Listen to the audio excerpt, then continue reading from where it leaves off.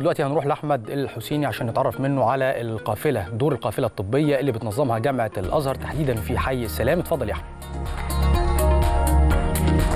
نعم محمد صباح الخير وصباح الخير المشاهدي صباح الخير يا مصر. بالفعل أنا متواجد هنا في حي السلام وتحديدا في مدرسة المحروسة في المتواجدة داخل مدينة المحروسة. النهاردة بيكون في قافلة تنموية ضخمة وكبيرة يعني بيتنظمها جامعة الأزهر بالتعاون مع محافظة القاهرة. القافلة دي يعني بتضم قوافل طبية وقوافل لمستلزمات دراسية وشنط دراسية.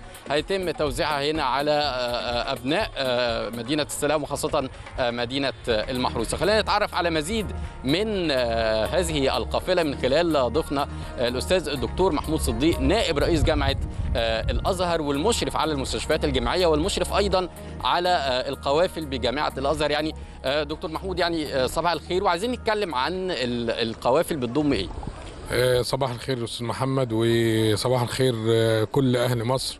في جميع أنحاء محافظات الجمهورية. إحنا الحمد لله يعني ده الأسبوع الثاني كنا الأسبوع الماضي عدنا من سيناء الحبيبة يوم الأحد الماضي. كنا في قافلة تنموية. زي ما حضرتك قلت إن القافلة ليست طبية فقط ولكن القافلة تنمويه بيكون فيها أطباء بيكون فيها وحدة لم الشمل اللي بينظمها المرصد بالأزهر الشريف. بيكون فيها بيت الزكاة والصدقات المصري للوقوف على احتياجات الأسر الفقيرة والمحتاجه لدعم بيت الزكاة والصدقات المصري لأن هو بيت كل مصري وليس بيت أحد على أحد لكنه يعمل للجميع. طبعا في القافلة برضو فيها جزء دعوي لنشر وسطية الأزهر الشريف وسطية الإسلام السامحة عشان خاطر تعطي جرعة كافية من التعرف على القيم الإنسانية والقيم الروحية التي يحملها الإسلام. إن هو دين للتعايش بين بين البشر ويعني منطلق من قول الله تبارك وتعالى يا أيها الناس إنا خلقناكم من ذكر وأنثى وجعلناكم شعوبا وقبائل لتعارفوا. إن أكرمكم عند الله أتقاكم. فالبلد يحيا فيها المواطن كاملا بحرية كاملة. هذا ما يدعو إليه الأزهر الشريف ويدعو إليه في رسالة الإسلام السامية. نعم يعني دكتور محمود إلى جانب طبعا القوافل الطبية اللي بتقوموا بتنظيمها النهارده في مدينة المحروسة بمدينة السلام يعني عايزين نتكلم كمان عن القوافل الدراسية وتوزيع الشنط المدرسية اللي بيكون فيها الكثير من المستلزمات الدراسية وإحنا موجودين هنا النهارده في مدرسة المحروسة. هو أنا بأثمن الدور برضه المجتمعي وده شيء جميل جدا المبادرات كلها اللي بيدعمها السيد الرئيس لتنمية جميع المحافظات وتنمية جميع الأماكن الأحياء المتوسطة والفقيرة.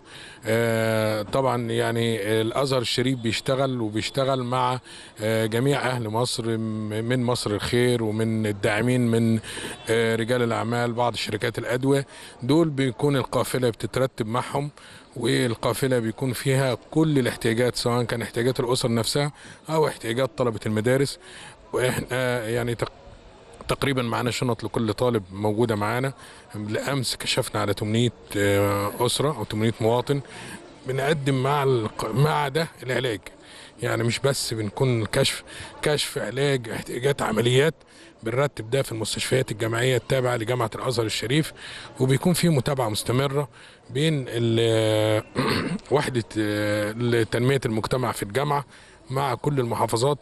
وأنا طبعا النهارده المحافظ اللواء خالد عبد العال هنلتقي معاه وطبعا في تنظيم سواء كان محافظة القاهرة داخل محافظة القاهرة أو مع جميع المحافظين في الجمهورية للتنسيق معهم. يعني إحنا برضو رايحين الوادي الجديد. يعني يمكن ده كان سؤال لحضرتك البرنامج أو البرامج المستهدفة في الفترة اللي جاية واللي بتقوم بيها جامعة الأزهر بالتعاون مع محافظة القاهرة في باقي الأحياء.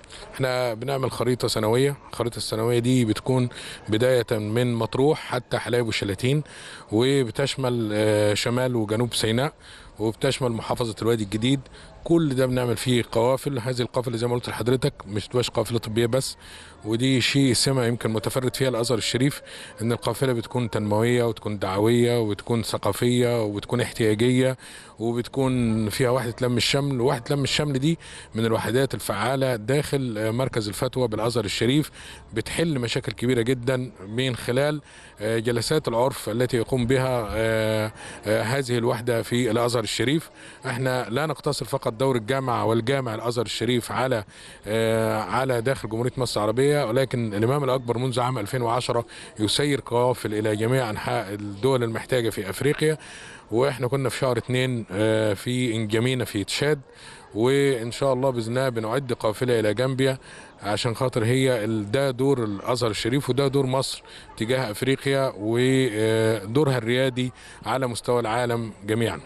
نعم الأستاذ الدكتور محمود صديق نائب رئيس جامعة الأزهر والمشرف العام أو المشرف على المستشفيات الجامعية والمشرف أيضا على القوافل بجامعة الأزهر. يعني بشكر حضرتك شكرا جزيلا. ويعني زي ما شفنا محمد يعني هذه القافلة التي يعني تنظمها جامعة الأزهر هي قافلة تنموية يعني بالإضافة إلى ما, ما ذكره الأستاذ الدكتور محمود صديق. هيتم كمان النهارده افتتاح فصول لمحو الاميه داخل المدرسة هنا وكمان فصول لتعليم الحياكة وتوزيع مكان حياكة بحيث إن يكون في أسر منتجة أيضا آه يعني وهي أسر أولى بالرعاية والأسر المحتاجة. يعني دي صورة كاملة وبنستمر مع القافلة على مدار اليوم النهارده بإذن الله. ولك في الاستوديو محمد. بشكرك أحمد الحسيني وبشكر ضيفك. رصدت لنا قافلة جامعة الأزهر الطبية والتنموية اللي انطلقت في حي السلام. شكرا ليك